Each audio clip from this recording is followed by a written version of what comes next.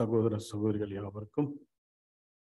நம்முடைய பிதாவாகிய தேவனுடைய பரிசுத்த நாமத்தினாலும் அவருடைய ஒரே பேரான குமாரனும் நம்முடைய இரட்சகரும் கண்மலையுமாக இயேசு கிறிஸ்துவின் ஈடு இணையற்ற நாமத்தினாலும் அன்பின் வாழ்த்துக்களை தெரிவித்துக் கொள்கிறேன்.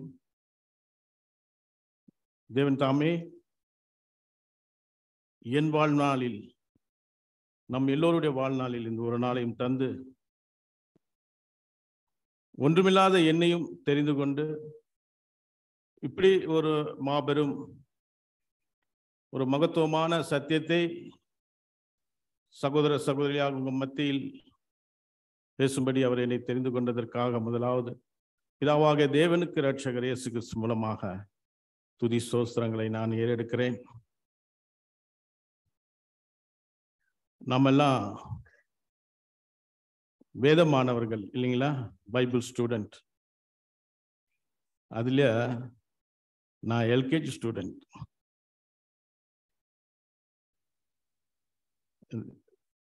அதுக்கு ஒன்றும் இல்லாத என்னை இப்படிப்பட்ட ஒரு சந்தர்ப்பத்தை கொடுத்து என்னை நிற்க செய்திருக்கிறார் தேவன்.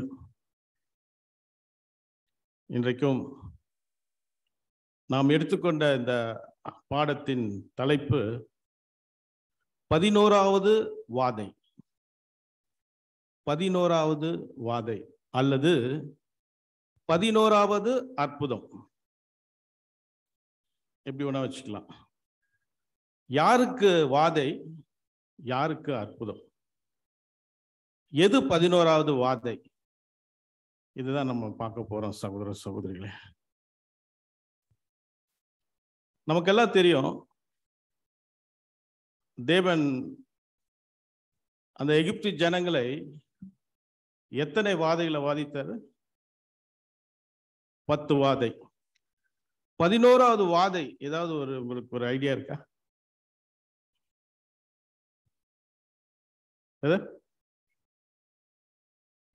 கேட்கல சரி நம்ம பார்க்கலாம். இந்த பாடம் சகோதரர் ரசல் பிரதர் அவர்கள் எழுதின அந்த எரால்ட் த கிரைஸ்ட் கிங்டம் அந்த ஒரு புத்தகத்திலிருந்து ஒரு கட்டுரை அதுலேருந்து தெரிந்து கொண்ட ஒரு பாடம். இப்போ வாதைனா என்ன ஃபர்ஸ்ட் நம்ம தெரிஞ்சுக்கணும். வாதை அதுக்கு என்ன சொல் வாதைனா என்ன? பிளேக் அந்த பிளேக் இங்கிலீஷில் பிளேக்னு சொல்லப்பட்டிருக்கு. ஆனா அந்த பிளேகுக்கு சரியான அர்த்தம்னு பார்க்கும்போது கொள்ளை நோய். இல்லைங்களா? கொள்ளை நோய். பிளேக்னா கொள்ளை நோய். இங்கிலீஷ்ல. இந்த வாதைக்கு தமிழ்ல வேற சில வார்த்தைகளும் இருக்கு. இப்போ ஜென்ரலா பார்த்தோம்னா வாதித்தல் அப்படின்னா வாதிக்கிறது. இந்த கோர்ட்லலாம் வாதாடுவாங்கல்ல? விவாதம் பண்றது. இல்லைங்களா? விவாதம் வாதித்தல் ஆர்குமெண்ட் அது வேற வாதித்தல். இப்போ வாதை அப்படின் போது அதுக்கு இன்னொரு தமிழ்ல என்ன அர்த்தம்? அப்படின்னு பார்க்கும்போது துன்பம். துன்பப்படுத்துதல். வாதையினாலே துன்பப்படுத்துவது. இப்போ வாதைன்றதுக்கு வந்து தனியாக ஒரு இது இல்லை. இப்போ அதை புரிஞ்சுக்கிற மாதிரி உங்களுக்கு சொல்லணும்னா இப்போ ஒருவர் வந்து விபத்தில் மறிச்சிட்டாரு அப்படின்னு எடுத்துக்கிறோன்னு வைங்க. ஒருத்தர் விபத்தில் மறிச்சிட்டாருங்க ரெண்டு பேர் பேசும்போது சொல்லுவாங்க அவர் விபத்தில் மறிச்சிட்டார் விபத்தில் மறிச்சிட்டாருன்னா எந்த விபத்தில் மறிச்சார் விபத்து இஸ் த காமன் அப்போ வாதை கூட ஒரு பொதுவான இது. எந்த விபத்தில் மறைச்சார் விமான விபத்தா? கார்ல கார் விபத்தா? இல்ல ட்ரெயின் விபத்தா? இப்படி இருக்கு இல்லைங்களா? அப்போ அதே மாதிரி வாதை வந்து பொதுவா சொல்லப்பட்டிருக்கு. அதாவது யாத்ராகம் பன்னெண்டு பதிமூணு அது இங்கிலீஷ்ல நம்ம பார்க்கும்போது டிஸ்ட்ராக்டிவ் பிளேக் அப்படின்னு இருக்கும். ஒரு பயங்கரமான கொடுமையான வாதையினால பாதிக்கிறது ஒரு வசனம் வாசிக்கலாம். யாத்ராகம் ஒன்பதாம் அதிகாரம் பதினான்கு மற்றும் பதினைந்து. யாத்திரகமும் ஒன்பதாம் அதிகாரம் பதினான்காம் வசனம் முதல் விடாதிருந்தால் பூமி எங்கும் என்னை போல வேறு ஒருவரும் இல்லை என்பதை நீ அறியும் படிக்க இந்த முறை நான் சகலவித வாதைகளையும் உன் இருதயத்திலும் உன் ஊழியக்காரர் மேலும் உன் ஜனங்களின் மேலும் அனுப்புவேன். நீ பூமியில் இராமல் நாசமாய் போகும்படி நான் என் கையை நீட்டி உன்னையும் உன் ஜனங்களையும் கொள்ளை நோயினால் வாதிப்பேன். என்னுடைய வல்லமையை உன்னிடத்தில் காண்பிக்கும்படியாகவும் என் நாமம் பூமியிலெங்கும் பிரஸ்தாபமாகும்படியாகவும் உன்னை நிலைநிறுத்தினேன். போதும் சிஸ்டர் போதும். பதினான்கு மற்றும் பதினைந்து. பாருங்க. சகலவித வாதையில் நான் வாதிப்பேன். சகலவித வாதை. ஒரு பர்டிகுலர் சொல்ல சகலவித வாதைகள். நமக்கு தெரியும் தேவன் அந்த இஸ்ரேல் ஜனங்கள் அடிமைப்பட்டிருக்கும் போது எகிப்தில் ஒரு பத்து வித வாதையை கொடுத்து தன்னுடைய ஜனங்களை மோசை மூலமாக மீட்டெடுக்கிறார். அந்த பத்து வாதை என்ன நமக்கு தெரியும்? கடைசி வாதை என்னங்க?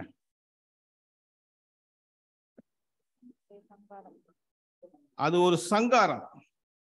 தலைச்சன் பிள்ளை சங்காரம். அப்ப வாதைன்னும் போது பலவித துன்பங்களால் கஷ்டங்களால் அந்த எகிப்து ஜனங்களை துன்பப்படுத்தியத அது குறிப்பதா இருக்குது நம்ம பார்க்கிறோம்.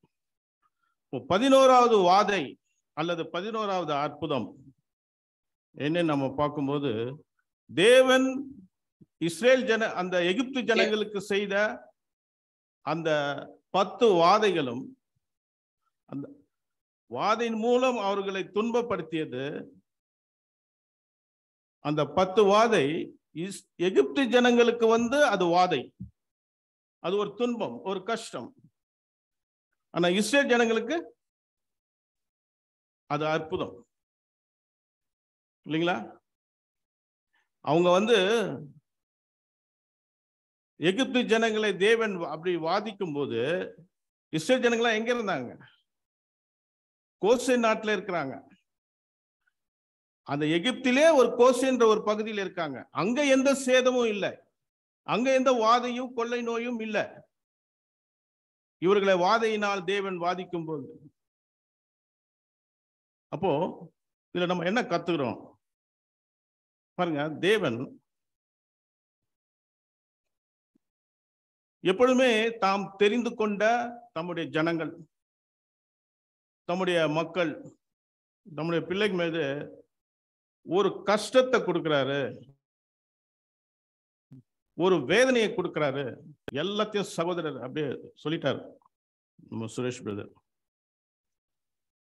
அப்போ தேவனுடைய பிள்ளைகளுக்கு ஒரு கஷ்டம் வருது ஒரு வேதனை ஒரு சோதனை பல இந்த மாதிரி ஒரு துன்பங்கள் ஒரு ட்ரபுள்ஸ் வருதுன்னா அதை ஏன் தேவன் அனுமதிக்கிறாரு அப்படின்னு பார்க்கும்போது அதன் மூலம் நமக்கு வந்து சில பாடங்கள் வச்சிருப்பார்.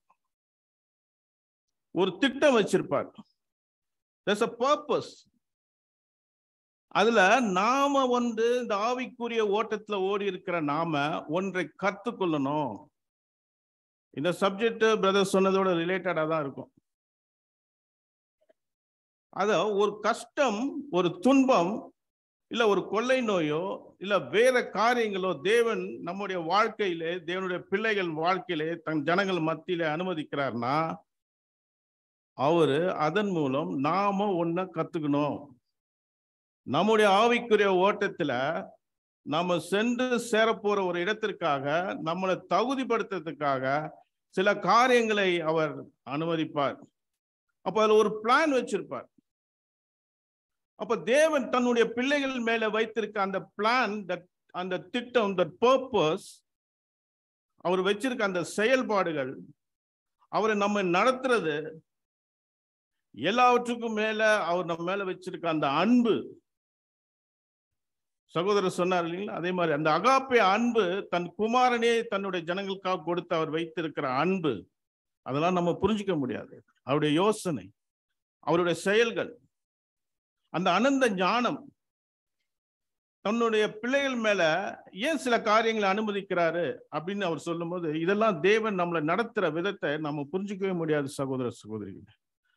அதுதான் ஏசையால பார்க்கிறோம் ஏசையா ஐம்பத்தி ஐந்தாம் அதிகாரம் எட்டு மற்றும் ஒன்பதாம் வசனங்கள். ஏசையா Isaiah chapter fifty five verse eight and nine ஏசையா ஐம்பத்தி ஐந்தாம் அதிகாரம் எட்டாம் வசனம் முதல் என் நினைவுகள் உங்கள் நினைவுகள் அல்ல உங்கள் வழிகள் என் வழிகளும் அல்லவென்று கத்த சொல்லுகிறார்.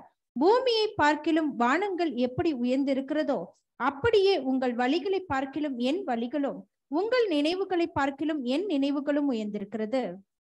போதும் சிஸ்டர் தேங்க்யூ சிஸ்டர் ஓ என் நினைவுகள் உங்கள் நினைவுகள் இல்ல. உங்க வழியும் என் வழியும் இல்ல. நான் உங்கள் மேல வச்சிருக்க திட்டம் நோக்கம் அந்த செயல்பாடுகள் நான் வச்சிருக்க பர்பஸ் எல்லாம் அது வேற. நம்ம அதை புரிஞ்சிக்கவே முடியாது. தேவன் நம்மளை நடத்துற விதத்தை அறிஞ்சிக்கவே முடியாது. அது அறியப்படாதவை. நமக்கு தெரியாது. நம்ம அதை அளக்கவே முடியாது. யூகிக்கவே முடியாது. தேவன் ஏன் சில காரியங்கள் நம்ம வாழ்க்கையில சில இந்த மாதிரி ஒரு அனுபவங்களை கஷ்டமான காரியங்களை அனுமதிக்கிறாரு? அவரோட யோசனை அவருடைய வழி நடத்துதல் அதெல்லாம் நம்ம புரிஞ்சுக்க முடியாதுன்னு பார்க்கிறோம் சகோதர சகோதரர் இதேதான் எரேமியா சொல்வாரு. எரேமியா சொல்லும் போது என்ன பெரியவரும் செயல் இல்லை வல்லவருமா இருக்கிறார். பாருங்க புரிஞ்சுக்கவே முடியாது. ஏன் அப்படின்ட்டு. ஏன் இந்த காரியங்கள் நடக்குது? ஏன் இந்த துன்ப கஷ்டம் வியாதி வருது? அருமையான ஒரு டெஸ்டிமோனி கேட்டோம். இல்லைங்களா? சகோதரர் ரசல் பிரதர் சொல்லும் போது கிறிஸ்தவ லைஃப் பஞ்சு நடக்கிறது கிடையாது. முள்ளு மேல நடக்கிறதுன்னு கிறிஸ்துவ அப்படிதான் நடந்தார். இல்லைங்களா? பாருங்க. அவருடைய அனந்த ஞானம் அவருடைய செயல் நம்ம இதை பார்க்கும்போது இதை எப்படி இதை நம்ம புரிஞ்சுக்கலாம்? அப்படின்னு பார்க்கும்போது பாருங்க.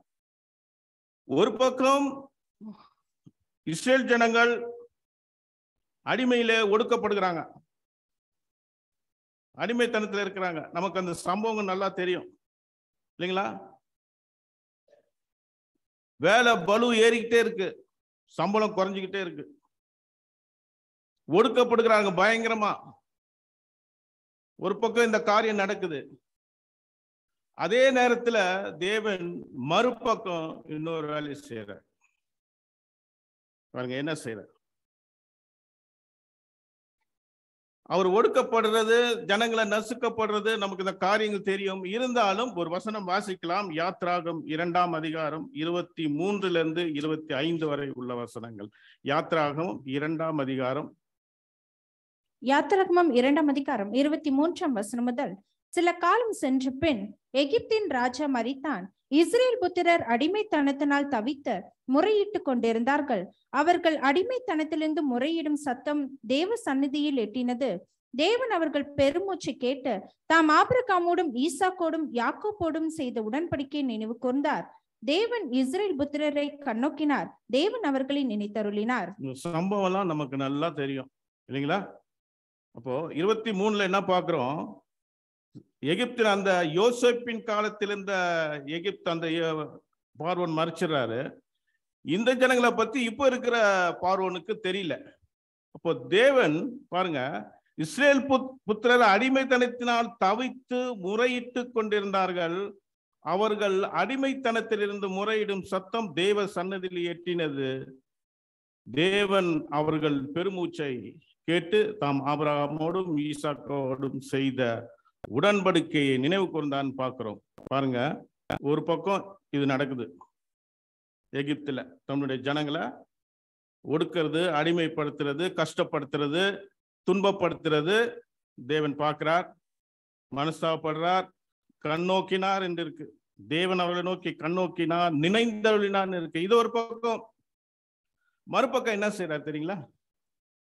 பாருங்க அடுத்த சைடு நம்ம பார்க்கும்போது ஒரு பக்கம் ஜனங்க இந்த கஷ்டம் அடுத்த பக்கம் வனாந்தரத்துல மோசையை தயார் பண்றார். மோசையை தயார் பண்றார். அவர் தன்னை ஏன்னா எகிப்துலேருந்து போனவர் தான் மோசே தன்னுடைய மாமனார் ஆடுகள் எல்லாம் அப்படி ப்ராக்டிக்கலாக பேசுகிறேன் தமிழ் புரியும்னு நினைக்கிறேன் உங்களுக்கு. தன்னுடைய மாமனாருடைய ஆடுகள் எல்லாம் மேய்க்கிறாரு. மேய்ச்சிட்டு அப்படி ஏன் தேவன் இத ஒரு அரண்மனை வாழ்க்கையை விட்டுட்டு மோசையை ஒரு வனாந்திரத்துக்கு கொண்டு போய் அங்க வந்து ஆடு மேய்க்க கொடுக்கிறாருன்னா அங்க அவரை தயார்படுத்துறார். ஏன்?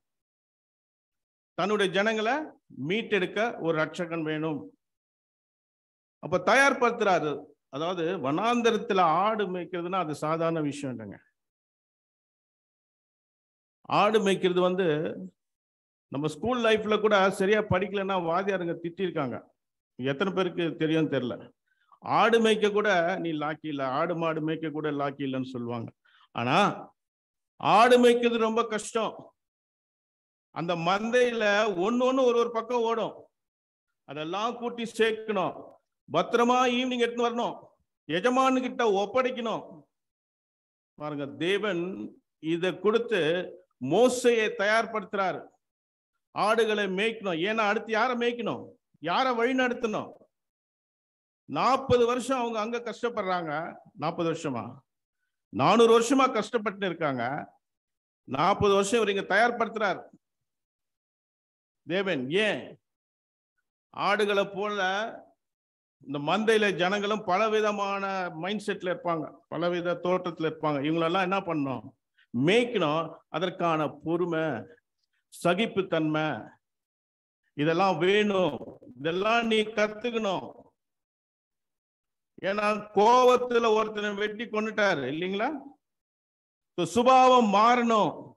இப்போ ஒரு பக்கம் தேவனுடைய ஜனங்கள் கஷ்டப்படுறாங்க. இன்னொரு பக்கம் தேவன் வனாந்தரத்துல மோசையை தயார்படுத்துறாரு. ஏன்னா ஆடு மேய்க்கிறது அவ்வளவு சாதாரண விஷயம் இல்ல. தாவிது கூட சொல்வார் இல்லைங்களா? நான் ஆடு மேய்க்கும் போது ஒரு முறை கரடி வந்துச்சு. இன்னொரு முறை சிங்கம் வந்துச்சு.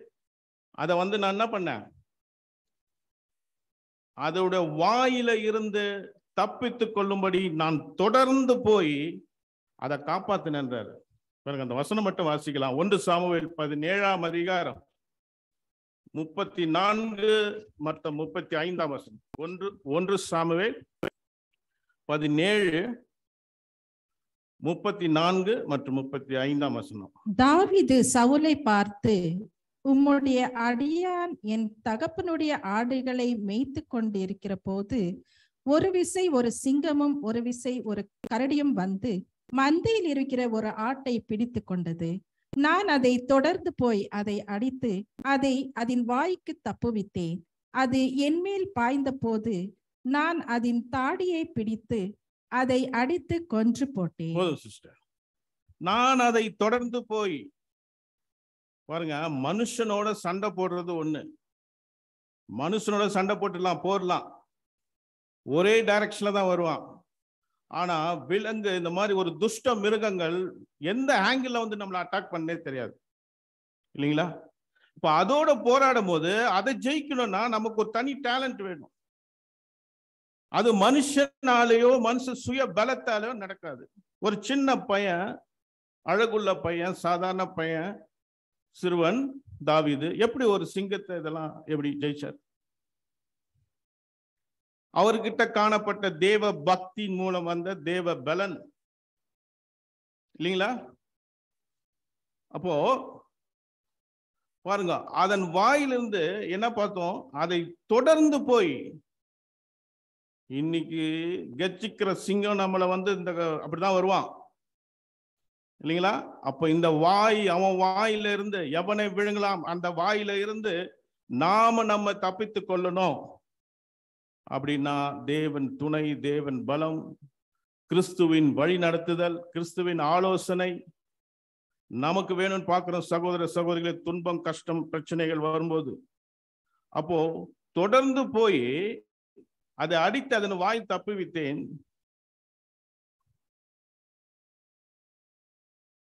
அதன் தாடியை பிடித்து அடித்து கொண்டு அப்போ ஒரு ஆடு கூட என் மந்தையிலிருந்து மிஸ் ஆகக்கூடாது தேவனுடைய திட்டமா அதாங்க. எல்லா மனுஷரும் ரட்சிக்கப்படணும். தேவனை அறிகிற அறிவை அறியணும். ஒருத்தரும் தப்பிச்சு போகக்கூடாது. அவர் தான் அது அதான் அவருக்கு ஆசை. அவர் விருப்பம் அவர் திட்டம். அதுக்காக சில பாடுகள் கஷ்டங்களை நம்ம வந்து அனுமதிக்கிறான்னு பார்க்குறோம். பாருங்க அதான் ஒன்று தீமத்தி வாசிக்க வேணாம் ரெண்டு நாளில் பார்க்குறோம். இதுதான் நடக்க போகுது இல்லைங்களா? எல்லா மனுஷரும் ரட்சிக்கப்படணும். அப்போ ஒரு பக்கம் ஜனங்கள் கஷ்டப்படுறாங்க எகிப்துல ஒடுக்கப்படுறாங்க. இன்னொரு பக்கம் மோசையை தயார்படுத்துறார் தேவன். இந்த ஜனங்களை மீட்டுக் கொள்றதுக்கு ரட்சிக்கிறதுக்கு அவளை வழி நடத்துறதுக்கு அவருக்கு சில பொறுமைகளை சில புத்திமதிகளை சில சுபாவங்களை பழைய சுபாவத்தெல்லாம் மாத்திட்டு புது சுபாவத்தை கொடுத்து அங்க தயார்படுத்துறார் வனாந்தரத்துல தேவன். இது நம்மளாம் புரிஞ்சுக்கவே முடியாது. நம்ம வாழ்க்கையிலும் சில சம்பவங்கள் நடக்கும்போது. பாருங்க எத்தனை பேர் வந்து அவங்க எகிப்துல இருந்து புறப்பட்டாங்க நம்ம பார்க்கிறோம். ஆறு லட்சம் புருஷர்கள்னு சொல்லப்பட்டிருக்கு. இல்லைங்களா? ஆறு லட்சம் புருஷர்கள் மட்டும்தான் சொல்லப்பட்டிருக்கு. ஆனா ஒரு ஆராய்ச்சி சொல்லுது கிட்டத்தட்ட இருபது லட்சம் பேராம் இருபது லட்சத்துக்கும் மேலாக. எப்படின்னு கணக்கு போடும்போது இப்போ ஆறு புருஷருங்களா? அவங்களுக்கு ஆறு மனைவிகள் அப்படி வச்சுக்கலாம். ஒரு ஒருத்தர் ஒரு கணவன் மனைவிக்கு ஒரு ரெண்டு பிள்ளைங்களாவது வச்சுக்கலாம். அப்ப எவ்வளவு பேருங்க ஆச்சுங்க? இது இல்லாம தேவன் இஸ்- அந்த எகிப்து ஜனங்கள் மேல சில வாதைகளை வரவழைத்த போது அந்த நேரத்துல இவர்தான் உண்மையான கடவுள். இவர்தான் தேவன். வேற கடவுள் எல்லாம் நம்ம கும்பிடுற பாம்பு தவளை எல்லாம் கடவுள் இல்ல. இவர்தான் நம்மளை ரட்சிக்கிறவர்னு சொல்லி தேவன் அந்த நேரத்துல எகிப்து ஜனங்கள் மேல் வர வைத்த வாதை நிமித்தம் மனம் திரும்பியவங்களும் இருக்கிறாங்க. அப்போ அதான் சொல்லுவாரு வேறு சில பேர் இந்த புருஷர்கள் மனைவிகள் பிள்ளைகள் இல்லாம வேறு ஜனங்களும் அங்கிருந்து புறப்பட்டு இருக்காங்க அந்த எகிப்துல இருந்து புறப்படும் போது பாருங்க வாசிக்கலாம் ஒரு வசனம். யாத்ராகமும் பனிரெண்டாம் அதிகாரம் முப்பத்தி எட்டாம் வசனம். யாத்திராகமம் பன்னிரெண்டாம் அதிகாரம் முப்பத்தி எட்டாம் வசனம். அவர்களோட கூட பல ஜாதியான ஜனங்கள் அநேகர் போனதும் அன்றி மிகுதியான ஆடு மாடுகள் முதலான மிருக ஜீவன்களும் போயிற்று. அவர்களுக்கு கூட பல ஜாதி பல ஜாதியான ஜனங்கள் என்று சொல்லப்பட்டிருக்கு. இந்த பல ஜாதியான ஜனங்கள் யாரு அப்படின்னும் போது அதே யாத்திராகமும் ஒன்பதாம் அதிகாரம் இருபது மற்றும் இருபத்தி ஓராம் வசனங்கள். யாத்திரகமும் ஒன்பதாம் அதிகாரம் இருபதாம் வசனம் பார்வோனுடைய ஊழியக்காரரில் எவன் கத்தருடைய வார்த்தைக்கு பயப்பட்டானோ அவன் தன் வேலைக்காரரையும் தன் மிருக ஜீவன்களையும் வீடுகளுக்கு ஓடி வர பண்ணினான். போதும் போதும் சிஸ்டர் என்ன வசனத்துல பார்த்தவங்க பார்வனுடைய ஊழியக்காரரில் எவன் கர்த்தருடைய வார்த்தைக்கு பயப்பட்டானோ அப்போவே சில ஜனங்கள் தெரிந்திருக்காங்க. தேவன் செய்த அந்த அற்புதத்தை பார்த்து இஸ்ரேல் ஜனங்களுக்கு அற்புதம் எகிப்து ஜனங்கள் அதாவது உலகத்துக்கு அது வாதை. இல்லைங்களா? அதுதான் அந்த பல ஜாதியான ஜனங்கள் அப்படின்னு நம்ம பார்க்கணும். அப்போ இஸ்ரே இஸ்ரேல் ஜனங்களோட அந்த நேரத்தில் தேவன் சில வாதைகளை அனுமதித்த நேரத்தில் மனம் திரும்பி இவர் தான் கடவுள்னு ஏற்றி கூட வந்த ஜனங்களும் இருந்திருக்காங்க. இதெல்லாம் கால்குலேட் பண்ணும்போது இருபது லட்சத்துக்கும் மேலான ஜனங்கள் இந்த ஜனங்களை மோசே மேய்க்க வேண்டும் வழி நடத்த வேண்டும். வனாந்தரத்தில் ஒன்றும் இல்லாத இடத்துல வறட்சியான இடத்துல இதற்காக தான் தேவன் ஒரு பக்கம் ஜனங்க கஷ்டப்பட்டதை கண்ணோக்கினார் நினைவு கூர்ந்தார் இருந்தாலும் ஒரு பக்கம் என்ன பண்றாருங்க? மோசையை தயார்படுத்துறார். நம்ம பார்க்குறோம் சகோதர சகோதரிகளே. ஒரு பக்கம் துன்பம் கஷ்டம் வியாதி கேன்சர் எது வேணா வரலாம். இன்னொரு பக்கம் அதுக்கான பரிகாரம். அவர் ரெடியா வச்சிருக்கிறார். நானே உன் பரிகாரி ஆகிய கத்தர். சொல்றாரு இல்லைங்களா? இந்த வனாந்தரத்துல கண்டதையும் தின்னுட்டு உடம்ப கெடுத்துக்காதப்பா. இங்க ஒன்றும் கிடைக்காது வனாந்தரத்துல எதுவுமே இல்லை. ஏன்னா அதுக்கும் முறுமுறுப்பாங்க. டா- நல்ல டாக்டர் இல்லைன்னா. அதான் சொல்றேன் நானே உன் பரிகாரிய கர்த்தர். கர்த்தர் பரிகாரின்னா என்ன சொல்லுங்க? வைத்தியர் டாக்டர் பிசிஷியன் அப்போ ஒரு பக்கம் இந்த மனுஷ வாழ்க்கையில மாம்சத்துல சில காரியங்கள் வரும். நம்ம மாம்சத்துல அப்படி போ தேவன் சில காரியங்களை அனுமதிக்கும் போது மாம்சத்துல மீறி அந்த ஜனங்களை போல நம்ம முறுமுறுக்க கூடாது கஷ்டப்படக்கூடாது தேவனை மனஸ்தாபப்படுத்தக்கூடாது.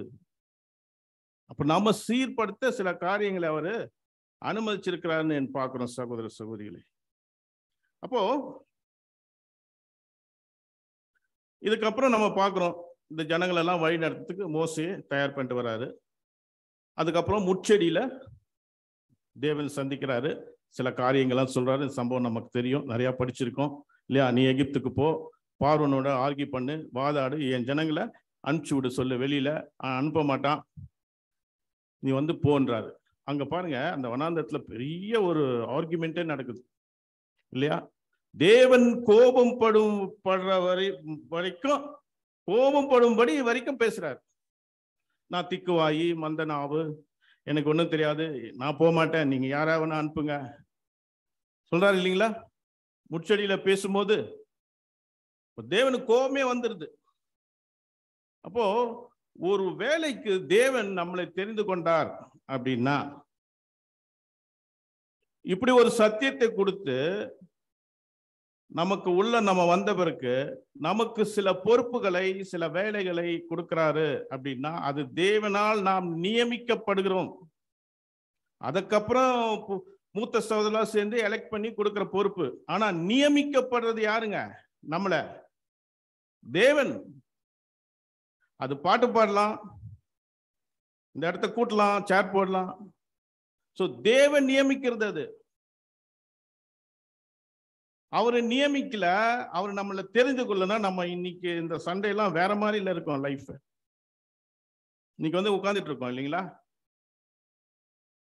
அப்போ பெரிய ஆர்குமெண்ட் நடக்குது. நீ அரண்மனைக்கு போன்றாரு. சரி எல்லாம் ஒத்துட்டு கடைசியில் என்ன சொல்றாரு? திக்குவாய் மந்தவாய்லாம் சொல்றாரு. மந்த நாவு.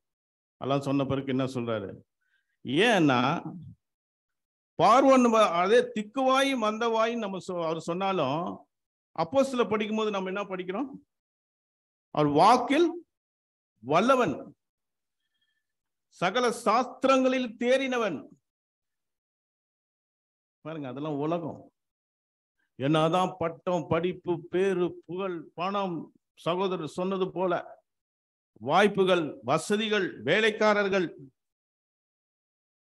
எதுதான் இருந்தாலும் என்ன நம்ம கத்துக்கினாலும் நீ பெரிய காலர் பெரிய ஸ்காலர்ஸ் பெரிய ஆஹ், என்ன சொல்றது பிஹெச்டி படிச்சு எதுவுமே வந்து உலக வேலை உலக காரியங்கள் உலக அனித்தியமான காரியங்கள் தேவனுடைய வேலைக்கு அதெல்லாம் வேலைக்கே ஆகாது. சகோதர சகோதரிகளே. அப்ப தேவன் நம்மளை அழைச்சு உள்ள வந்த பிறகு அவர் கொடுக்கிற வேலை வேற அவர் கொடுக்கிற நாலேஜ் வேற அவர் கொடுக்கிற ஞானம் வேற. அப்ப உள்ள வந்துட்டு அவர் கொடுக்கிற ஞானத்துல நாம எப்படி இருக்கிறோம்? அவருடைய வேலையை செய்வதற்கு. பாருங்க இங்க கூட அரண்மனைக்கு போறாரு அதுக்கப்புறம் ஏன்னா அதெல்லாம் வேணாம் இனி நான் சொல்றதுதான். நான் சொல்ற மாதிரி அவனுக்கு கத்துக் கொடுக்குறாரு எல்லாம் உணர்ந்தத்துல. திக்குவாயினா ஒரு குழந்தை மாதிரி எல்லாத்தையும் சொல்லி A for apple B for boy அப்படி எல்லாம் சொல்லி கிள்ளி டோட்டல் ஹிஸ்டரி சொல்லி ஜனங்களை எப்படி வழிநடத்தணும் அவரை பக்குவப்படுத்தி எகிப்துக்கு அனுப்புறார். நம்மளுக்கும் வாழ்க்கையில சில காரியங்களை அனுமதிக்க நம்மளை பக்குவப்படுத்துறார். புடமிடுகிறார். இல்லைங்களா? சகோதர சகோதரி அப்ப எகிப்துக்கு போறாரு. பேசுறாரு. என் ஜனங்களை அனுப்பி விடு நாங்க என் தேவனை ஆராதிக்கணும். அங்க ஒரு காரியம் நடக்குது. பாருங்க இங்கேயும் ஒரு காரியத்தை நம்ம புரிஞ்சுக்கணும் தேவன் மோசே போய் பேச சொல்றார். சில அற்புதங்களாம் செய்ய சொல்றார். அவரும் செய்யறாரு சொல்றாரு. அதே நேரத்தில் இன்னொரு பக்கம் பார்வனு இருதயத்தை கடினப்படுத்திக்கிட்டே வர்றார் பாருங்க அவரு ஏதோ ஒரு பர்பஸ் திட்டம் இல்லாமல் எதுவுமே செய்ய மாட்டாருங்க. ம்? அப்போ இதனால என்ன அப்படின்னா எகிப்து ஜனங்கள் யாரு உண்மையான கடவுள்? எகிப்துனாவே நாம இப்போ உலகம் அப்படின்னு எடுத்துக்கணும். அதானே? இப்ப எகிப்து ஜனங்கள் இந்த உலக ஜனங்கள் யார் உண்மையான தேவன்? யார் சர்வ வல்லமை உள்ளவர்? யாரால இதெல்லாம் செஞ்சது? இனி செய்ய போக போகுது? இந்த கிரியேஷன்ஸ். வானன்னு ஒன்று படைச்சாரு. அதை வச்சு இன்னைக்கு சில ஆராய்ச்சி எல்லாம் பண்றாங்க. ஒரு ஒரு உண்மையான வானத்தை தேவன் படைச்ச மாதிரி இன்னைக்கு இருக்க சயின்டிஸ்டோ வேற யாரோ படைக்க முடியுமா? ஒரு சமுத்திரத்தையோ வானத்தை அப்போ இந்த உலகம் உண்மையான தேவனை தெரிஞ்சுக்கணும்.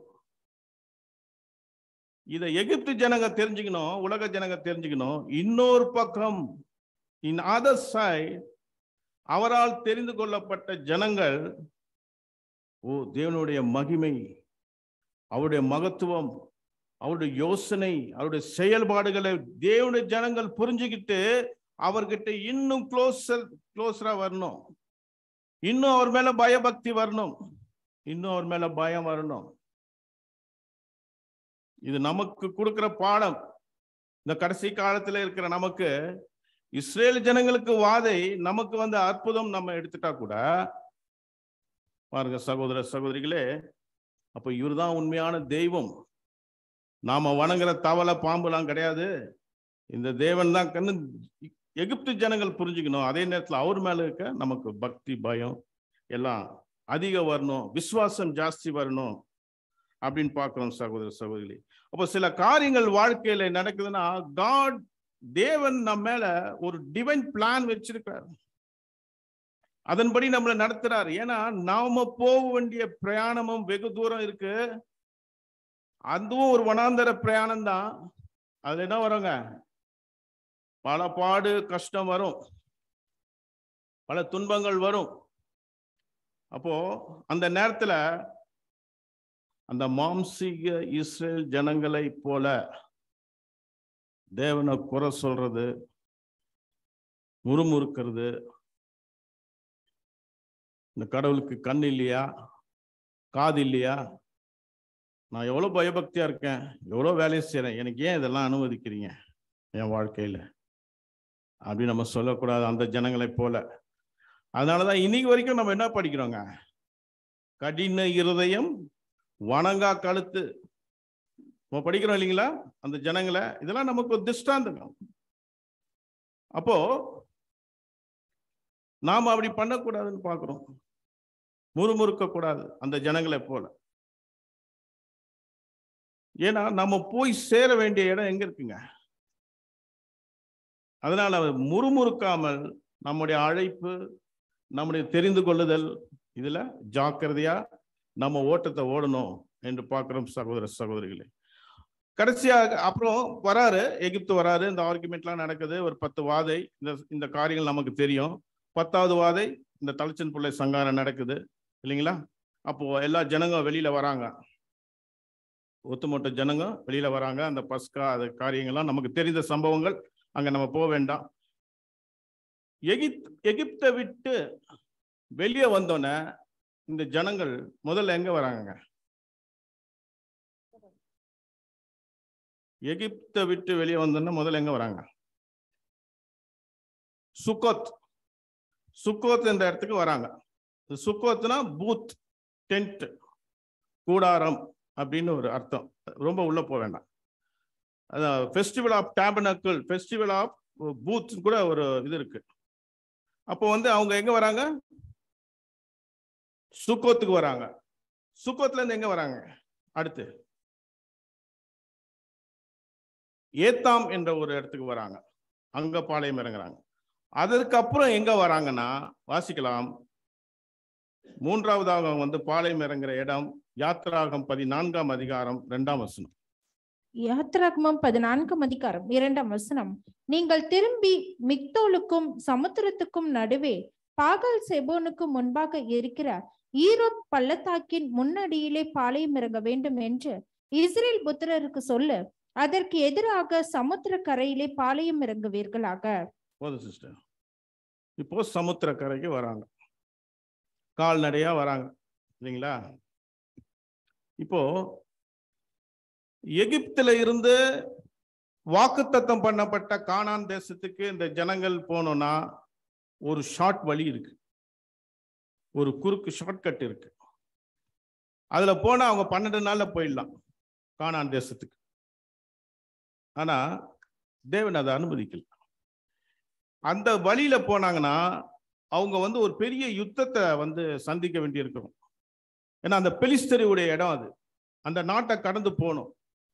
அதை கடந்து போகும்போது அவங்க வந்து ஒரு பெரிய யுத்தத்தை சந்திக்க வேண்டியிருக்கும். இவங்களுக்கு சண்டை போட்டு தெரியுமா? யுத்தம் ஏதாவது பழக்கம் இருக்கா? சண்டை போட்டு? இல்லை. யுத்தம் செய்யக்கூடியதுக்கு ஏற்றாற் போல ஆயுதங்களும் இல்லை. ஈட்டி க கத்தி கம்ப எதுவுமே இல்லை. ஆயுதமும் இல்லை. சண்டை போடவும் தெரியாது. அதனால பாருங்க ஞானமா தேவன் எப்படி நீ எந்த ரூட்ல போகணும் குறுக்கு வழி இருக்கு. ஆனா குறுக்கு வழியில போக தேவன் அனுமதிக்கல. ஷார்ட்கட்ல நற்கிரிகளை செய்துட்டு அன்னதானம் பண்ணிட்டு சில பேர் போயிடலான்னு நினைக்கிறாங்களே அந்த தாட் நமக்கு வரக்கூடாதுங்க. பரம காணான அடைக்கணும்னா பதினாலு இருபத்தி ரெண்டு அப்போஸ்ல என்ன படிச்சோம்? பதினாலு இருபத்தி ரெண்டு. பல விதமான சோதனை துன்பம் எல்லாத்தையும் அனுபவிச்சு தான் தேவனுடைய ராஜ்யத்தை அடையணும். அப்போ அந்த ஷார்ட்கட்ல போறதுக்கு தேவனை அனுமதிக்கல. அவர் ஒரு ரூட் சொல்றாரு பாருங்க. யாத்ராகம் பதிமூன்றாம் அதிகாரம் பதினேழு பதினெட்டு. யாத்திரகமம் பதிமூன்றாம் அதிகாரம் பதினேழாம் வருஷம் முதல் பார்வோன் ஜனங்களை போகவிட்ட பின் ஜனங்கள் யுத்தத்தை கண்டால் மனம் அடிந்து எகிப்துக்கு திரும்புவார்கள் என்று சொல்லி பெலிஸ்தரின் தேச வழியாய் போவது சமீபமானாலும் தேவன் அவர்களை அந்த வழியாய் நடத்தாமல் சிவந்த சமுத்திரத்தின் வனாந்தர வழியாய் ஜனங்களை சுற்றி போக பண்ணினார். இஸ்ரேல் புத்திரர் எகிப்து தேசத்திலிருந்து அணி அணியாய் புறப்பட்டு போனார்கள். பாருங்க வனாந்திர வழியா நீங்க செங்கலை கடந்து தான் போகணும் சுத்தி தான் போகணும். இந்த பர்பஸ் தேவன திட்டம் ஒரு ரூட் போட்டு காட்டார் பிலிஸ்தர் வழியா போனா உங்களுக்கு ஆபத்து. அந்த யுத்தத்தை பார்த்துட்டு திருப்பி ஜனங்க எங்க போயிடுவாங்க? எகிப்துக்கே போயிடுவாங்க. அதுவே நமக்கு மேலின்ட்டு. அதனால தேவன் அனுமதிக்கல. அவர் ஒரு ரூட் சொல்றாரு. தேவன் கிறிஸ்து மூலமா நமக்கு ஒரு ரூட் சொல்லியிருக்கிறார். இல்லைங்களா? எந்த ரூட்டுங்க? விஸ்தாரமான வழியா? அப்போ கன்ஃபார்ம் எடுக்கும். கஷ்டம். அப்போ நம்ம அந்த வழியா தாங்க போகணும். அப்போ தேவன் சொல்லிட்டாரு மோசைக்கு ஒரு ரூட் போட்டு கொடுத்துட்டாரு இந்த வழியா தான் நீ கூட்டின்னு போகணும் அப்படின்ட்டு. பெல்லிசர் வழியா நீ போவாத. அப்போ போறாங்க. சுத்தி போறதுக்கு இன்னொரு ரீசனும் நமக்கு தெரியும் இல்லைங்களா? அந்த வேவ் பார்க்க போனது அதில் பத்து பேர் வந்து துர்ச்செய்தி சொன்னது. அப்போ அவங்க சொன்ன அந்த நாற்பது நாளுக்கு பதிலாக நாற்பது வருஷம் இதுவும் ஒரு காரணம் அதுவும் ஒரு காரணம். அப்போ இதுல நமக்கு என்ன தேவன் பாடம் வச்சிருக்கிறார்? அப்படின்னு நம்ம பார்க்கும்போது நாற்பது வருஷம் இந்த ஜனங்கள் வனாந்தரத்தை சுற்றி தான் போகணும். இதன் மூலம் இந்த ஜனங்கள் பல அனுபவங்களை வாழ்க்கையில் கற்றுக்கணும் ஏன்னா அதுக்கப்புறம் அவங்க சந்திக்க வேண்டிய யுத்தங்கள் நிறையா இருக்குது அதுக்கு அவங்கள ப்ராக்டிஸ் பண்ணணும். அதுக்கான ஆயுதங்கள்லாம் எடுக்கணும். இல்லைங்களா? மன ரீதியாகவும் மென்டலி அண்ட் பிசிக்கலி அவங்க எல்லாத்துக்கும் தயாராகணும். எந்த எதிர்ப்புகள் போர்கள் யுத்தங்கள் கஷ்டங்கள் வாழ்க்கையில வந்தாலும் எல்லாத்தையும் சமாளிக்கணும். அதுக்கு அவங்கள வந்து தயார்படுத்துற ஏன்னா அடிமைத்தனத்தை விட்டு வெளியே வந்த பிறகு அங்க ஏதோ ஒரு வேலையை செஞ்ச மாக்கு மாக்குன்னு வேலை செஞ்சாங்க. ஏதோ சம்பளம் கொடுத்தா சோறு போட்டான் சாப்பிட்டாங்க வாழ்ந்தாங்க. நானூறு வருஷம். இப்போ வெளியே வந்த பிறகு அவர்களுக்கு வாழ்க்கையில அந்த ஆவிக்குரிய ஓட்டத்துல முன்னேறணும்னா சில காரியங்கள் வேணும். சில ஆயுதங்களை எடுக்கணும். இப்போ நம்மளும் ஒரு பரம காணான போய் இந்த வனாந்திர யாத்திரை வழியாய் போய் நம்ம சேரணும்னா நமக்கும் சில சர்வாயுத வர்க்கங்களாம் எடுக்கணும். ராமர் ஆஃப் காட் அதுல பழகிக்கணும். சகோதர சகோதரி அப்போ இந்த ஜனங்கள் வந்து அடுத்த யுத்தங்கள் எல்லாம் சந்திக்க வேணும். பல கஷ்டங்களை பார்க்கணும் ஏன்னா முக்கியமா செங்கடலை கடந்த பிறகு யோர்தானை கடக்கணும் எரியோ பட்டணும். இந்த மூணு காரியங்கள் முக்கியமா அவங்க வாழ்க்கையில. அடுத்தது பல யுத்தங்கள். இதுக்கெல்லாம் அவங்கள தயார்படுத்துறார் தேவன். மன ரீதியாகவும் மென்டலாகவும் பிசிக்கலாகவும் தயார்படுத்துறார். அதே பாருங்க. இந்த இஸ்ரேல் ஜனங்கள் அந்த வாக்கு தத்தம் பண்ணப்பட்ட தேசத்தை அந்த பாலும் தேனும் ஓடுகிற ஒரு மகா பெரிய ஆசிர்வாதத்தை அவங்க சுதந்திரிச்சுக்கணும். அதை பெற்றுக்கணும்னா ஏன் நாற்பது வருஷம் சுத்தல விடுறாரு தேவன் அப்படின்னு பார்க்கும்போது பாருங்க ஒரு வசனம் வாசிக்கலாம். யாத்ராகம் இருபத்தி மூன்றாம் அதிகாரம்.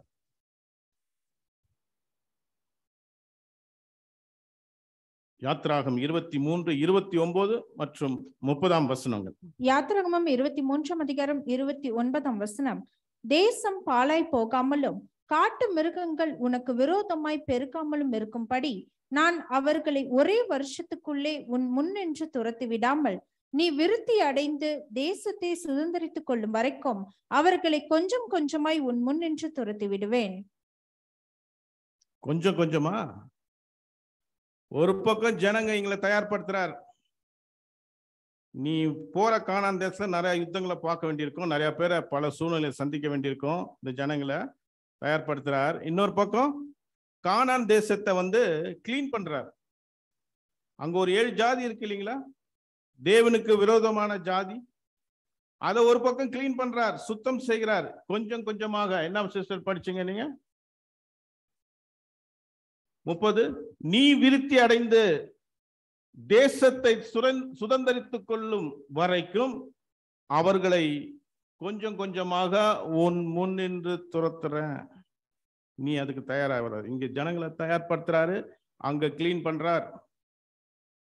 இது இப்ப நடந்துட்டு இருக்கு கிரைஸ்ட் செகண்ட் அந்த பெரோஷியா அவர் பிரசனத்துல எயிட்டீன் செவன்டி ஃபோருக்கு அப்புறம் இதுதான் நடக்குது. கொஞ்சம் கொஞ்சமா கிளீன் பண்றார். இப்போ நம்ம ஒரு புது வீட்டுக்கு ஒரு வீட்டுக்கு போனோம்னா ஏற்கனவே ஒருத்தவங்க குடியிருக்கிறாங்கன்னு வைங்க. அவங்க அதில் குடியிருக்கும் போது இல்லை பாதி சாமான் சட்டு வச்சிருக்கும் போது ஒரு அசுத்தமா இருக்கும் போதே உள்ள போயிடுவோமா? உள்ள போயிடுமா? அவங்கள ஃபுல்லாக வாஷ் அவுட் பண்ணிட்டு அதை க்ளீன் பண்ணி ஒயிட் வாஷ்லாம் பண்ணிட்டு நல்லா நமக்கு ஏற்ற மாதிரி ரெடி பண்ணி தான் நம்ம உள்ளே போவோம். இல்லைங்களா? அதுதான் இப்போ நடக்குது. அப்போ இஸ்ரேல் ஜனங்களே வனாந்தரத்தில் ரெடி பண்றார். அந்த பக்கம் சென்று சேர வேண்டிய அந்த தேசத்தை அந்த பாலும் தேனும் ஓடுகிற காணான் தேசத்தை சுத்தம் பண்ணிட்டு இருக்க இதுதான் இப்போ நடந்துட்டு இருக்கு அவருடைய ராஜ்யத்தில் நடக்க போற காரியங்கள். பாருங்க சகோதர சகோதரிகளே அப்போ கொஞ்சம் கொஞ்சமா ஏன்னா இதை ஏற்கனவே யார்கிட்ட சொல்லியிருக்காரு தெரியுங்களா? வாசிக்கலாம் ஆதி ஆகமம் பதினைந்தாம் அதிகாரம் பதினாறாம் வசனம். ஆதியாகமம் பதினைந்தாம் அதிகாரம் பதினாறாம் வசனம். நாலாம் தலைமுறையிலே அவர்கள் இவ்விடத்துக்கு திரும்ப வருவார்கள். ஏனென்றால் எமோரியருடைய அக்கிரமம் இன்னும் நிறைவாகவில்லை என்றார். போதும் சிஸ்டர் யாத்திராகம் பதினைந்து பதினாறு. நாலாம் தலைமுறையிலே அவர்கள் இவ்விடத்துக்கு திரும்ப வருவார்கள். ஏனென்றால் எமோரியருடைய அக்கிரமம் இன்னும் நிறைவாகல. இன்னும் நிறைவாகல. சுத்தம் பண்ணிட்டு இருக்கார் சகோதர சகோதரிகளே. அப்போ இந்த ப்ராசஸ் போயிட்டு இருக்கும்போது இந்த அழைப்புக்குள்ள அவரோடு உடன்படிக்கை செய்து வந்த நம்ம நாம கூட ஒண்ணு நினைக்கலாம்.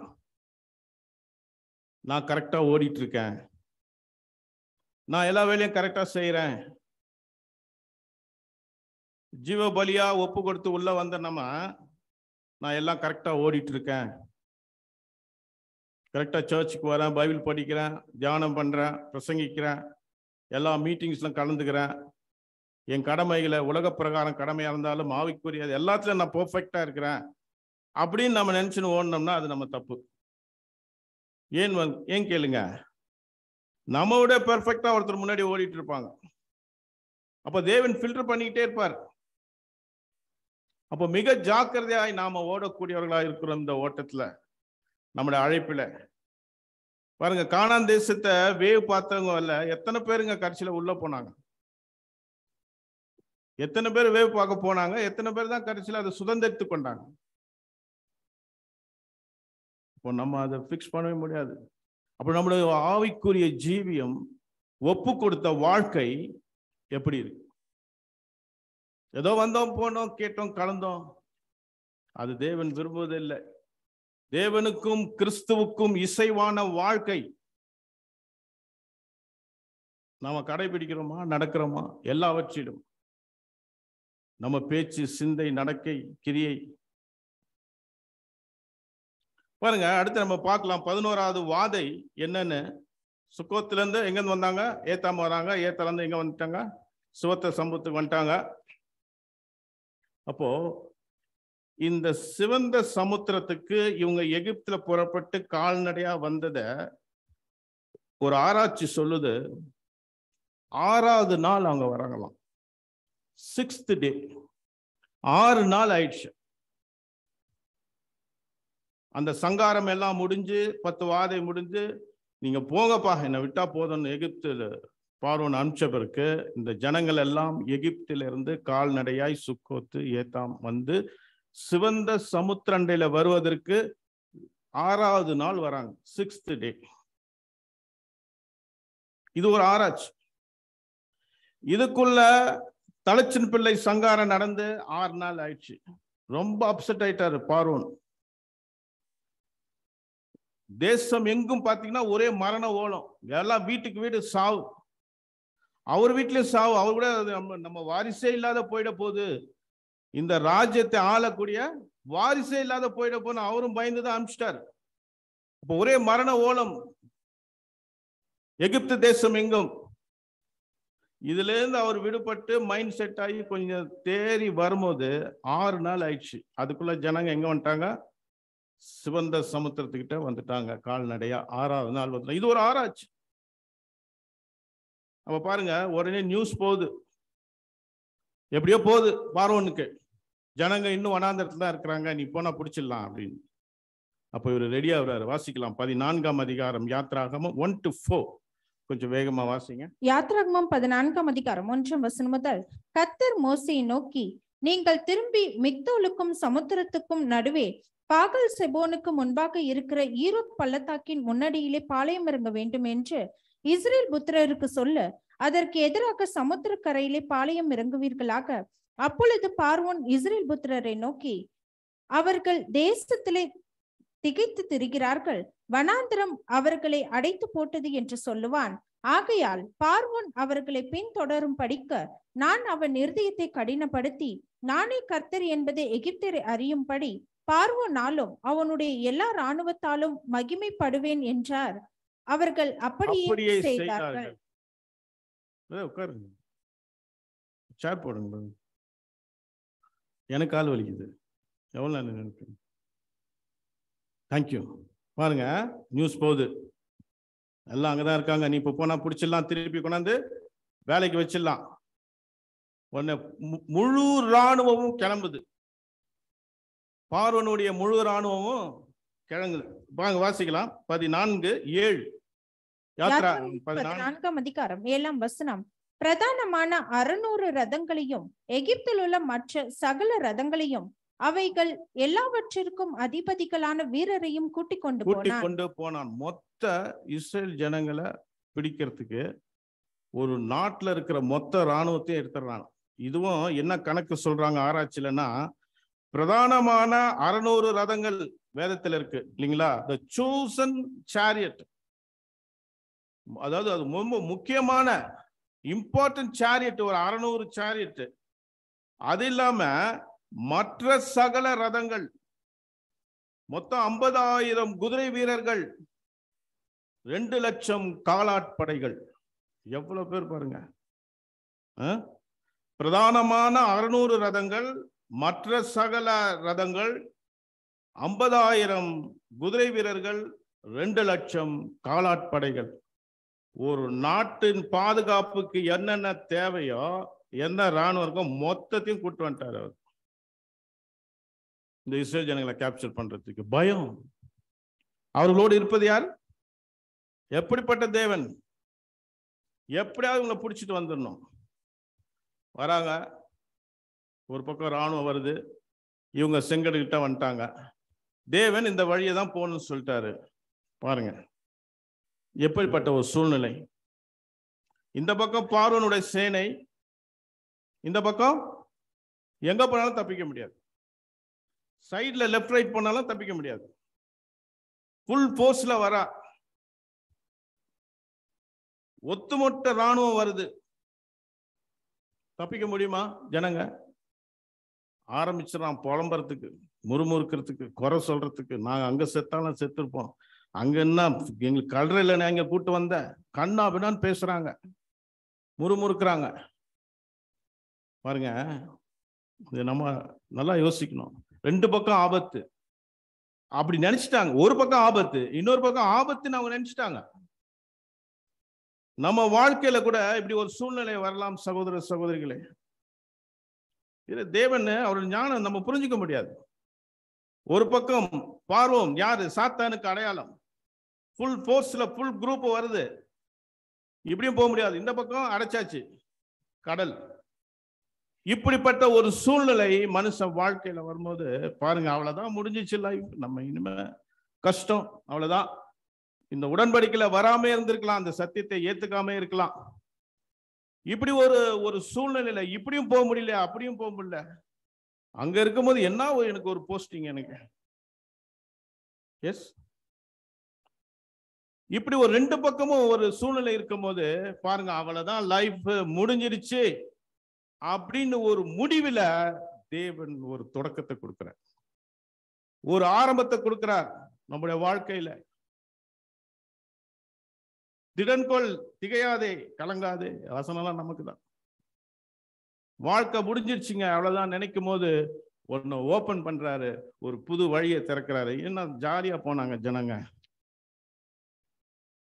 அதுக்குள்ள அந்த வசனம்லாம் நம்ம தெரியும். இப்போ யாத்திராகம் பதிமூணு பதினொன்று பன்னெண்டு. இதெல்லாம் நம்ம பத்தொன்பது இருபது வரைக்கும் பார்க்கும்போது ஒரு கிளைமேக்ஸ் சீன் நடக்குது அங்க செங்கடலை பிளக்கிறது. அதுக்குள்ள முறுமுறுக்குறாங்க. மோசையை குறை சொல்றாங்க தேவனை குறை சொல்றாங்க. மோசையை குறை சொன்னா தேவனை குறை சொல்றதான் மோசையை நியமிச்சது யாருங்க? மோசை மூலமா வார்த்தைகளை கொடுக்கறது யாரு? கண்ணாபினான்னு பேசுறாங்க. அக்னி ஸ்தம்பமும் மேக ஸ்தம்பமா நடத்திட்டு வந்திருக்காரு. நல்லா தண்ணி கொடுத்தாரு சாப்பாடு கொடுத்தாரு. எல்லாத்தையும் மறந்துட்டாங்க. இனிமே தான் கொடுக்க போறாருல? இதுக்கப்புறம் தான் கொடுப்பாரு. சரி இதுக்கப்புறம் தான் அதெல்லாம் கொடுக்குறாரு. சாரி ஆனா அவங்க இந்த எகிப்து ஜனங்களுக்கு செய்த வாதையை ஒண்ணு நினைச்சு பார்த்தாங்களா? இதுல இருந்து நம்ம தேவன் நம்மளை தப்பிப்பாருன்னு நினைக்கல. முறுமுறுக்குறாங்க திட்டுறாங்க. அப்ப துரிதப்படுத்துறாரு தேவன் கையை நீட்டு ரெண்டா பல ஜனங்களை அனுப்பிச்சு விடுன்னு. ஒரு கிளைமேக்ஸ் சீன் நடக்குது. இது நடக்கும்போது பாருங்க. அது என்ன டைம் தெரியுங்களா? என்ன நேரமா அது? இருபத்தி எட்டு வாசிக்கலாம். யாத்திரகமம் பதினான்காம் அதிகாரம் இருபத்தி எட்டாம் வசனம். ஜலம் திரும்பி வந்து ரதங்களையும் குதிரை வீரரையும் அவர்கள் பின்னாக சமுத்திரத்தில் பிரவேசித்திருந்த பார்வனுடைய இராணுவம் அனைத்தையும் மூடிக்கொண்டது. அவர்களில் ஒருவனாகிலும் தப்பவில்லை. இருபத்தி எட்டா? கிழக்கு வெளுத்து வரும் ஜாமத்தில் போட்டிருக்கோம். ஒரே ஒரு நிமிஷம்.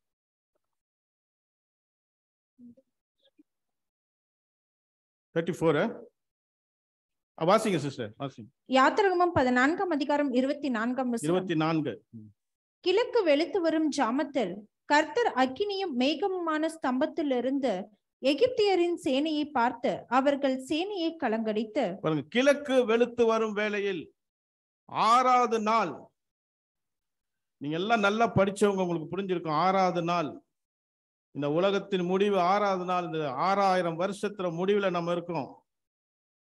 அப்ப என்ன நடக்க போகுது?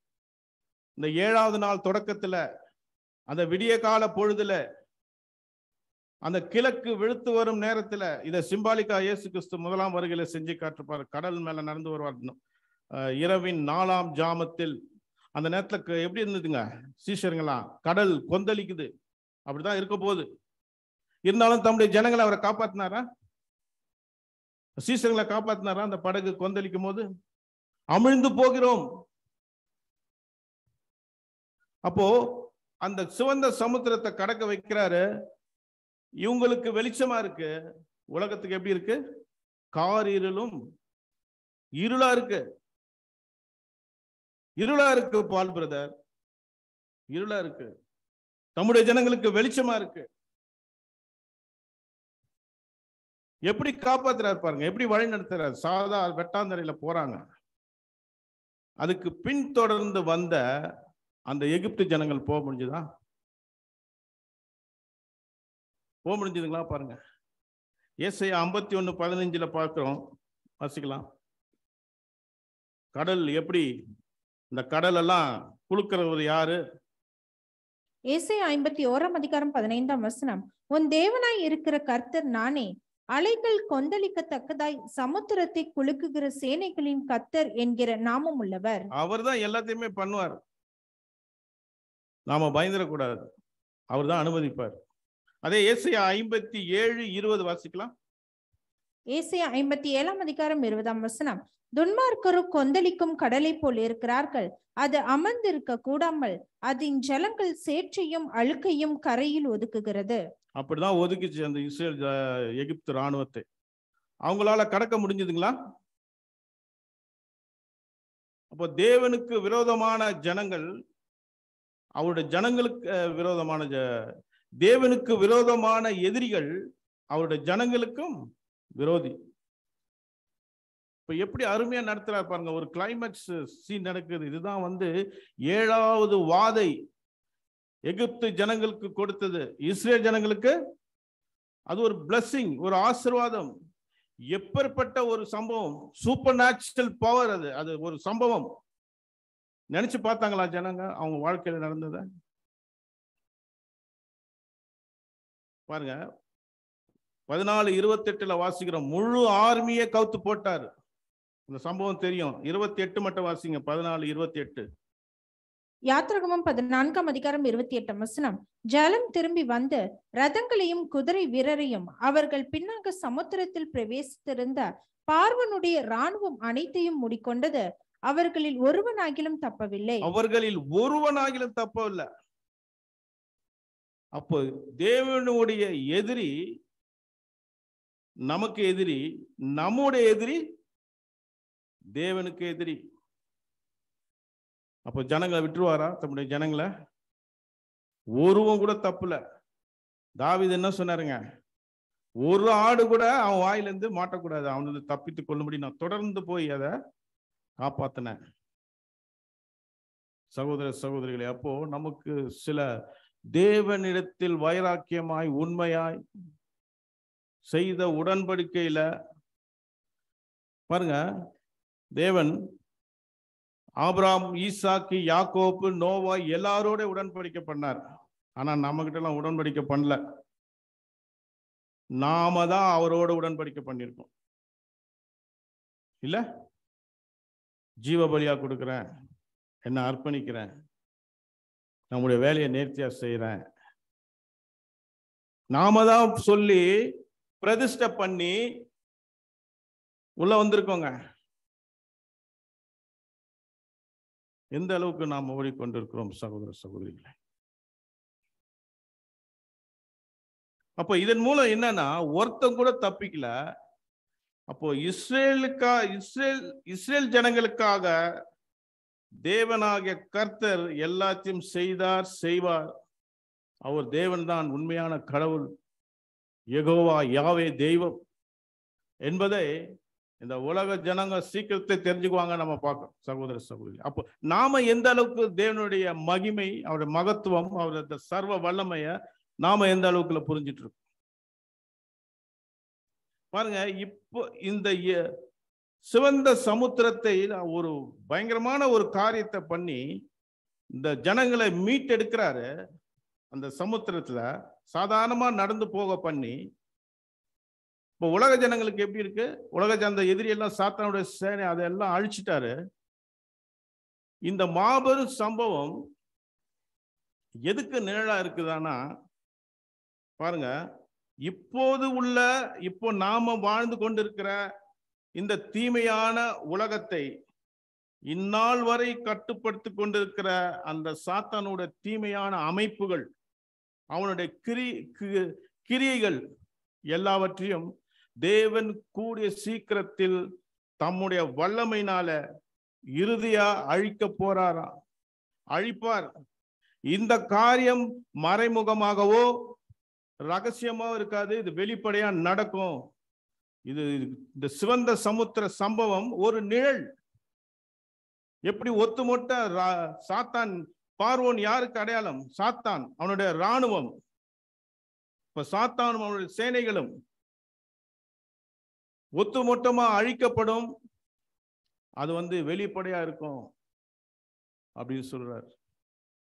சகோதர சகோதரிகளே நம்முடைய அழைப்பு எப்படி இருக்கிறது? எந்த அளவுக்கு நாம் ஜீவிக்கிறோம்?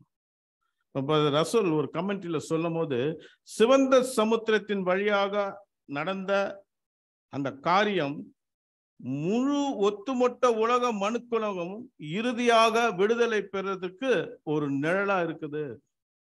அப்படின்றத ரசல் எழுதுறார் ஒரு கமெண்ட்ரியில. இதே பவுல் சொல்லும் போது எப்படி சொல்றாரு பாருங்க. பவுல் ஒரு காரியம் சொல்றாரு. வாசிக்கலாம். ஒன்று குருந்திய பத்து ஒன்னு ரெண்டு. ஒன்று குருந்தியர் பத்தாம் அதிகாரம் ஒன்றாம் வசனம் முதல் இப்படி இருக்க சகோதரரே நீங்கள் எவைகளை அறிய வேண்டுமென்று இருக்கிறேன் என்றால் நம்முடைய பிதாக்கள் எல்லாரும் மேகத்துக்கு கீழாய் இருந்தார்கள். எல்லாரும் சமுத்திரத்தின் வழியாய் நடந்து வந்தார்கள். எல்லாரும் மோசைக்குள்ளாக மேகத்தினாலும் சமுத்திரத்தினாலும் ஞானஸ்நானம் பண்ணப்பட்டார்கள். எல்லாரும் ஒரே ஞான போஜனத்தை புசித்தார்கள். எல்லாரும் ஒரே ஞானபானத்தை குடித்தார்கள். எப்படி எனில் அவர்களோட கூட சென்று ஞான கண்மலையின் தண்ணீரை குடித்தார்கள். அந்த கண்மலை கிறிஸ்துவே. போது சிஸ்டர் இது ஒரு ஞானஸ்தானத்துக்கு அடையாளமா சொல்றாரு? அதாவது அந்த மோசே அந்த வனாந்தரத்தில் அவங்க அந்த செங்கடலை கடந்தது. இந்த மேகஸ்தம்பம் அக்னி ஸ்தம்பம் வழி நடத்தலாம் அவர் தான் சொல்றாரு? அப்போ சிலர் சொல்லும்போது பார்க்கலாம். அவங்க மேகத்துக்குள்ள ஞானஸ்தானம் எடுத்து அதாவது அது என்ன அர்த்தம் அப்படின்னு பார்க்கும்போது மேகத்துக்குள்ளாக அவங்க ஞானஸ்தானம் எடுத்தாங்க அப்படின்னு பார்க்கும்போது எகிப்து செங்கடலோட அவங்க கதை முடிஞ்சிடுச்சு எகிப்தோட கரை எகிப்துல இருந்து செங்கடல் அந்த கரை வரைக்கும் தான் ஒரு எல்லை ஒரு பார்டர் எகிப்தின் காரியங்கள் முடிஞ்சிருச்சு. இப்போ ஒன்ஸ் அவங்க கடந்துட்ட பிறகு யார் கண்ட்ரோல்ல இருக்காங்கன்னா மோசையோட கண்ட்ரோல்ல இருக்காங்க. அதுல இருந்து என்ன பண்றாங்க? ஒப்பு கொடுக்குறாங்க. கிறிஸ்துவின் அந்த தேவன் கொடுத்த அந்த கட்டளைக்கு தேவன் மோசின் மூலயமா கொடுத்த அந்த கட்டளை அந்த வார்த்தைகளுக்கெல்லாம் எங்களை அர்ப்பணிச்சு நாங்கள் புதுசாக வாழ்றோம். இனி பழைய உலக அந்த எகிப்து வாழ்க்கை அந்த தெய்வங்கள் அந்த கொள்கை கோட்பாடுகள்லாம் எங்களுக்கு வேண்டாம். நாங்க இனிமே உங்களுக்குள் கற்ப மோசின் கட்டுப்பாட்டுல வரோம் கண்ட்ரோல்ல வரோம் கிறிஸ்துவின் கண்ட்ரோல்ல வந்துடுறோம் அப்படின்னு சொல்லி ஒரு உடன்படிக்கை வந்தாங்க. ஆனா ஒரு புது வாழ்க்கையை தொடங்குறாங்க. அதை தொடர்ந்து செஞ்சாங்கன்னா இல்ல. செஞ்சாங்களா எகிப்து ஜனங்கள்?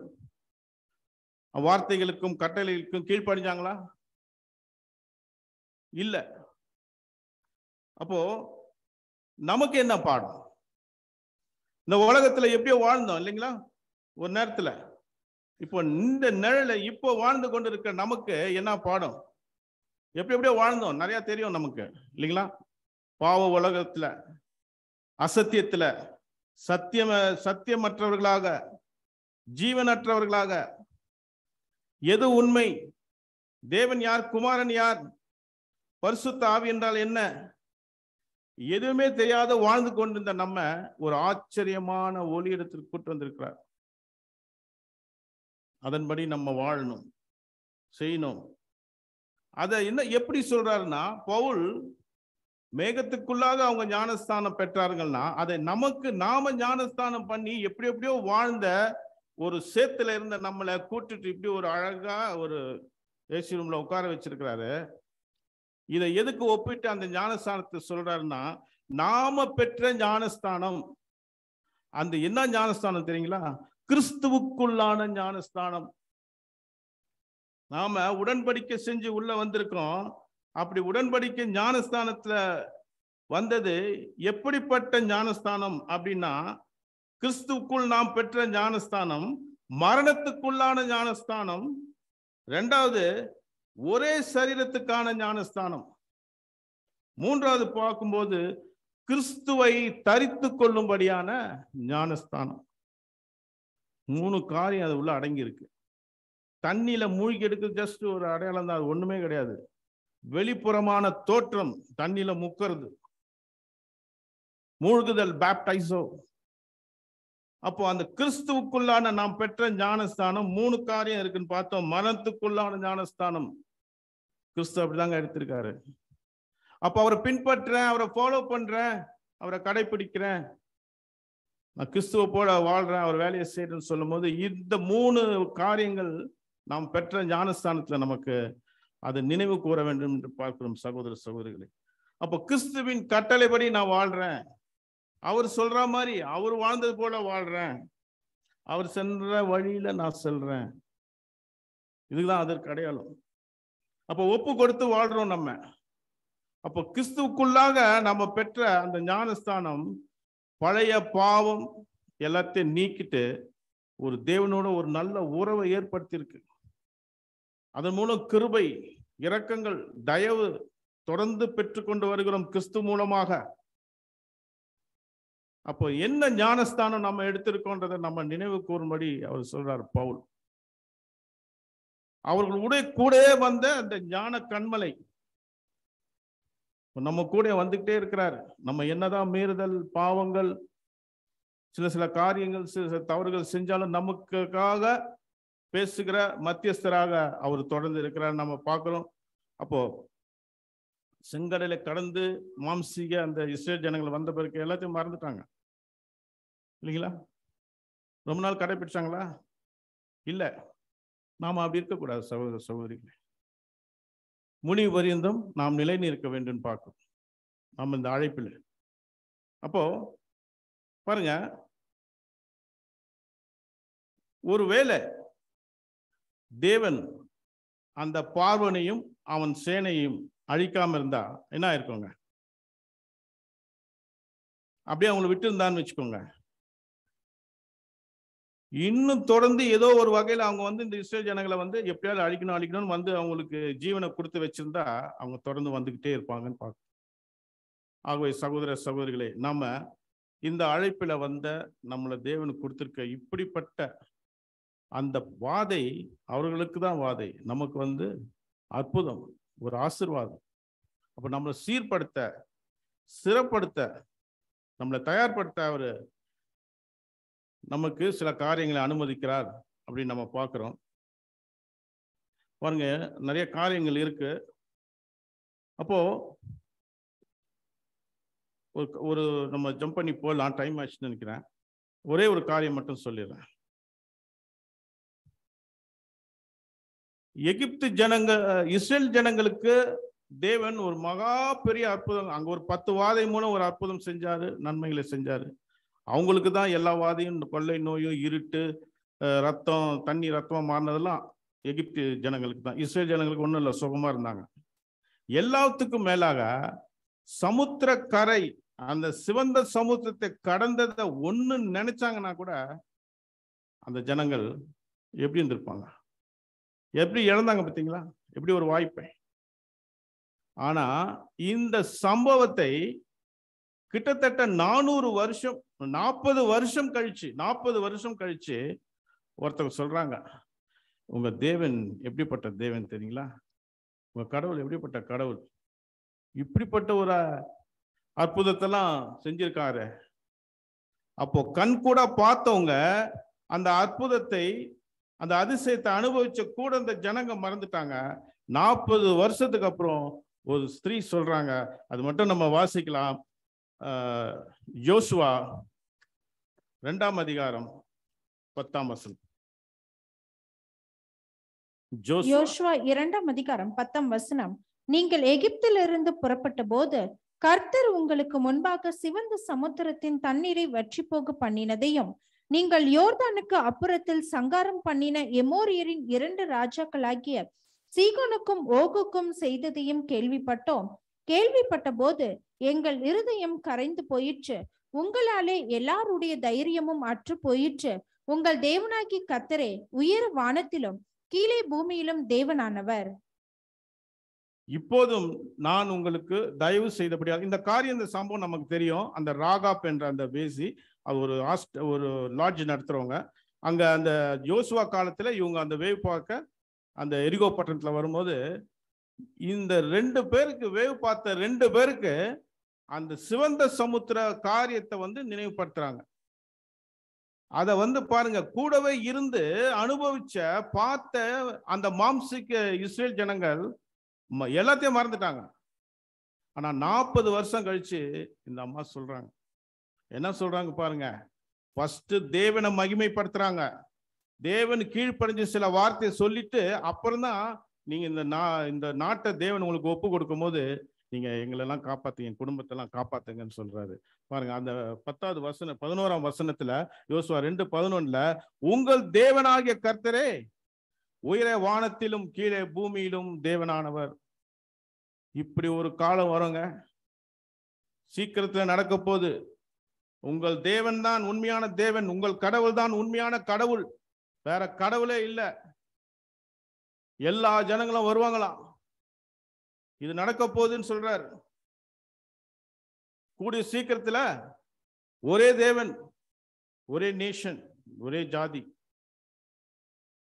அந்த ஸ்லாக்கியத்திற்கு நம்மளை கூப்பிட்டு இருக்காரு பாருங்க நாற்பது வருஷத்துக்கு அப்புறம் அந்த அற்புதத்தை அந்த லேடி அந்த ஸ்திரீ சொல்றாங்க.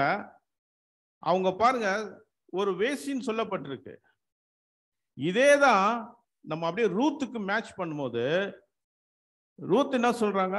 ஒரு அந்நிய ஸ்திரீ அந்நிய தெய்வங்களை வணங்கி இருந்தவங்க அந்நிய தேசத்தில் இருந்தவங்க மாமியார்ட்ட சொல்லும்போது என்ன சொன்னாங்க? உன் தேவன் என் தேவன் உன் ஊர் தான் என் ஊர் உன் ஜனம் என் ஜனம். நீ செத்த எங்க சாவரி அங்க நான் சாவறேன் நான் கூட தான் வருவேன். எந்த அளவுக்கு தேவனை புரிஞ்சிருக்காங்க பாருங்க. இவங்க ரெண்டு பேருமே புறதேசத்து அந்நிய ஸ்திரீகள். ஆனா உண்மையா தன்னை அவங்கள ஒப்பு கொடுத்து இவர் தான் கடவுள்னு அவங்க நம்பி முன்னுக்கு வரும்போது இவங்க ரெண்டு பேரும் இணைக்கிறாரு இல்லைங்களா? ரூத்தியும் ராகாப்பையும் இணைக்கிறாருங்களா? எப்படிப்பட்ட ஒரு சந்ததி வருதுங்க? போவாஸ். அதன் மூலம் தாவீது. இயேசு கிறிஸ்து இப்போ உறுதியா பற்றிக்கிற ஜனங்களை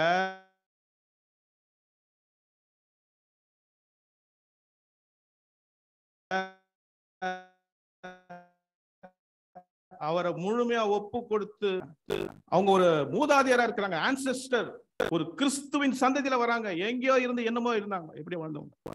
இதெல்லாம் இன்னும் நிழல் பொருள் காரியங்கள் நிறைய இருக்கு. ஒரு சரியான நேரத்துல நம்ம மாட்டிக்கணும்னு நினைக்கிறேன் இப்போ.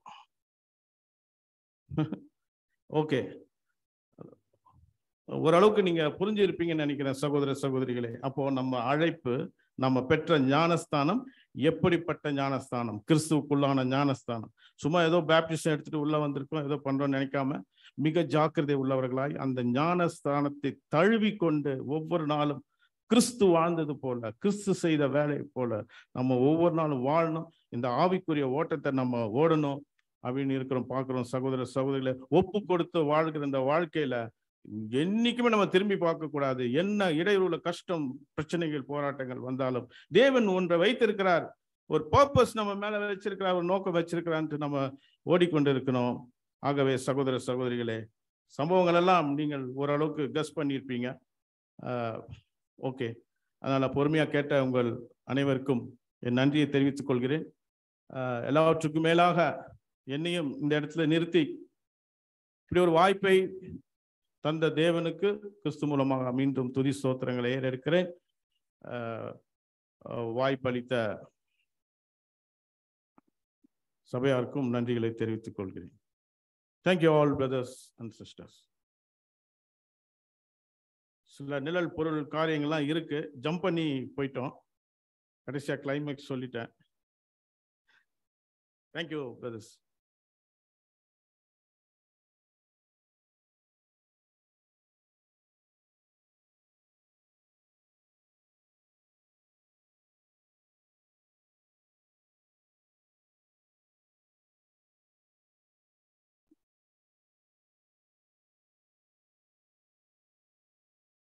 thank you brother Raju so அவருடைய சப்ஜெக்டில் இன்னும் ஒரு முடிக்காததுனால தயவுசெய்து உங்களுக்கு ஏதாவது சந்தேகம் இருந்தால் அவர் டைரெக்டாக நீங்கள் கூட சில விஷயங்களை கேட்டுக்கொள்ளலாம். ஸோ இந்த நேரத்தில் கூட சகோதர சகோதரிகளை பொறுமையோடு கேட்ட நீங்கள் கூட ஒரு உங்களுக்கு பொறுமையை கூட அதிகமாக தேவன் ஏன்னா லஞ்ச் டைம் ஆயிடுச்சு.